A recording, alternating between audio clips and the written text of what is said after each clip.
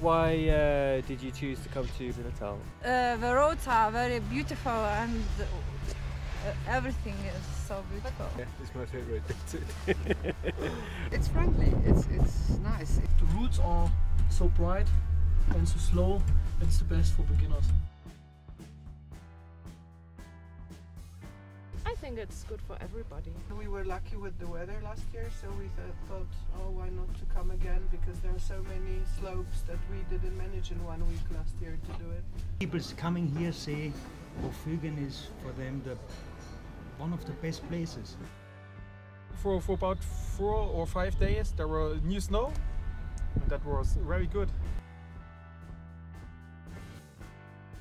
And I've been here last year with some friends. It's a great area to snowboard. He skis really well, and so do other people from our group.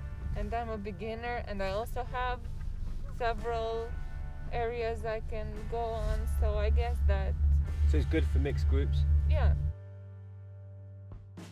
We're about 25 years already, so uh, we think it's a, it's a very nice uh, nice area and uh, a good place to be.